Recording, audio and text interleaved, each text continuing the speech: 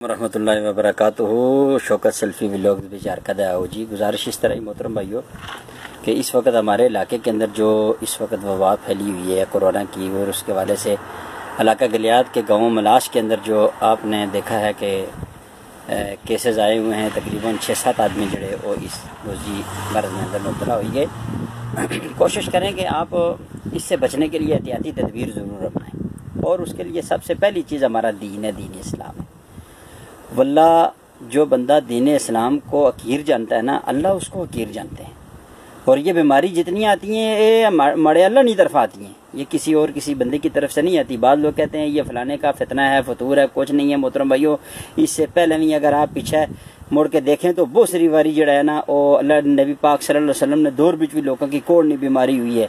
है जी अनतकूल अल्लाह में सास ने अल्फाज सैदा मूसा सलात आखे से वो जड़े उन्हें वो जड़ा, वो बछड़ा बनाई था, उस बीच मारी आवाज़ था, उन्होंने किया था वो, उसका जो पूरा बनी इसराइल का पूरा वाक़ वो कुरान मजीद के अंदर मौजूद है।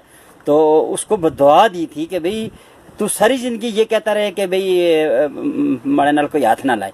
और ये ये बीमारियाँ जो है, ये इस तरह की बीमारियाँ, पहले मूजी बीमारियाँ आती रही हैं। नबी पाक सल्लल्लाहु अलैहि वसल्लम के दौर के अंदर एक बंदा, वो कोड़ की बीमारी थी, बैत करने के लिए आया। नबी पाक सल्लल्लाहु अलैहि वसल्लम ने तू वहाँ से वापस चला जा। मैंने तेरी जो है बैत उसको कबूल कर लिया है। अब जो है, इस वक्त ये जो काम करने का है मोहतरम भाइयों, उसमें हमें दीन से रहनमाई करनी चाहिए, सबसे पहले। और उसके बाद डॉक्टरों की बात, फिर कीमों की, फिर सियाने लोगों की बातें, सारी बातों पे अमल करके जितनी ज़्यादा हो सकता है, इतनी ज़्यादा एहतियात करें। जितनी एहतियात करेंगे, इतना फ़ायदा है। नबी करीम सल्लल्लाहु अलैहि वसल्लम फरमाया कि लोगों, तुम सदके से अपने बीमारों का इलाज कराओ। अब सदके से बीमारों का इलाज? आप लोग समझे होंगे यार मौली साहब को चंदा मांगने के चक्कर में। ओ, मोहतरम भाइयों, ऐसी बात नहीं है। सदके से अल्लाह के नबी ने बीमारों का इलाज किया तुम सदका करोगे, सदका बीमारियाँ टालेगा, वबाई टालेगा आपसे। और इसी तरीके से नबी पाक सल्लल्लाहु अलैहि वसल्लम ने फरमाया, अल्लाह अब्द माकान अब्दुल अखी। जिल्ला तक कोई बंदा किसी अपने किसी मुसलमान प्रभु की मदद में लगा रहता है, अल्लाह पाक उसकी मदद में लगे रहते हैं। और इसी तरीके से नबी वसल्लम ने फरमाया, मोमनों ये खसलत ये भी है कि युसरुना अलानफुसम वलौकान बेहम खसासा।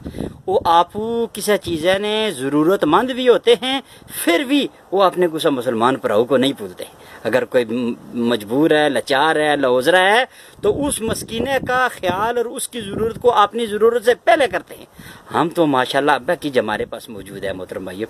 फिर भी क्या है हम जो है वो ठेसरे करते हैं। ना कोई एक रुपया सब बन के अपनी दौलता के ऊपर बैठे हुए हैं। इजरादा जमा जमा आठ तेड़े हुए हैं मोहतरम भाइयों, आगे क्या पता क्या होता है। इसलिए कोशिश करें कि अपने आंड गमांड अड़ोस पड़ोस, जानने वाले, हैं, मेल मिलाप वाले, नाल कम काचा भी जेडे लोग तो सने नाल होते हैं, जेडे कोई हज़ार पंद्रह सौ आदमी ज़िंदगी भी जीने की इंसान जानता से जानता है, उनके साथ तल्लुक वास्ते को और उनकी हमदर्दी को ज़रूर लाजम पकड़े।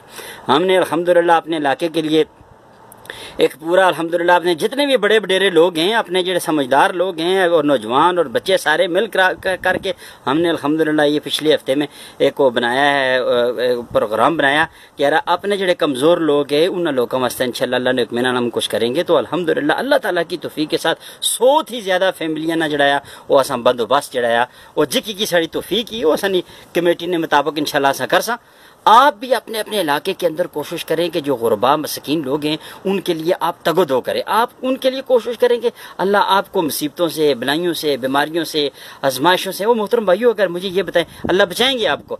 और अगर मुझे ये बताएँ, मैं जो सवाल करने वाला था, वो ये था कि अगर किसी एक बंदे को यह करूना या खुरकना लग जाए तो मुझे बताए, ना वो लखा रुपये खर्च करने के लिए तैयार नहीं हो जाएगा। लोगों से कर्ज किन किन के नहीं देगा। वो मोहतरम भैया तुम अपने रब के ऊपर यकीन तो रखो ना।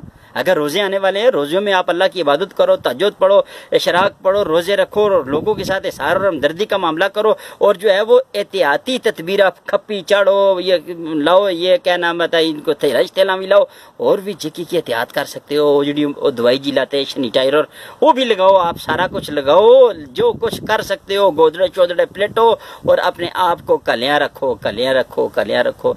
ये जरा मेल मलाटे वाला काम है, इसको छोड़ दो। ये ये जफिया बाबा बाबा के आप इस तरह लोगों से मिलते हैं, भाई एक चीज़ मुझे ये बताएँ, लोग कहते हैं जी हम फलाना करेंगे टिमकाना करेंगे, और इबादत के नाम पे हम कहते हैं कि भी हम, ठीक है, बहुत अच्छी बात है, कोई इबादत करता है, करना, करनी चाहिए, लेकिन जो हम आगे पीछे जो बातें करते हैं, वो हम सारे जानते हैं कि हम कितनी मसीतियाँ जो है ना मसल्ले फटते हैं, ये सारा कुछ हमको पता है। मोहतरम भाइयों, आप इबादत करें, इनफरादी तौर पर करें, ये तो इस्लाम ने आपको इजाज़त दी है।